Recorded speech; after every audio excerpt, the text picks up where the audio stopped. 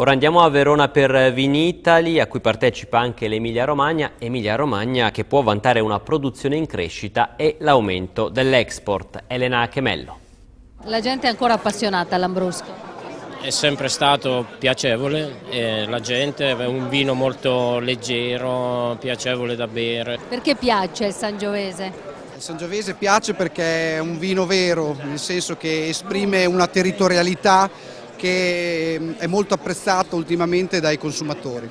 Il Lambrusco dell'Emilia, il Sangiovese della Romagna, ma anche Pignoletto, Malvasia, Gotturno, vini forse meno noti ma altrettanto apprezzati. L'Emilia Romagna il Vinitale di Verona con 400 vini, 200 tra aziende e consorzi e una produzione che continua a crescere di anno in anno. Dal 2009 al 2013 l'aumento sui mercati esteri è stato di oltre il 74%.